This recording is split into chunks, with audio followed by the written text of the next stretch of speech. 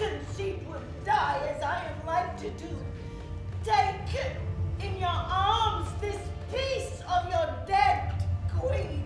Oh, oh, Thaisa! Patience, good sir. Do not assist the storm. Here is all that's living of your queen, a little daughter. For the sake of it, be manly and take comfort. Why do you make us love your goodly gifts and snatch them straight away? We, we here below recall not what we give, and therein may use honor with you. Patience.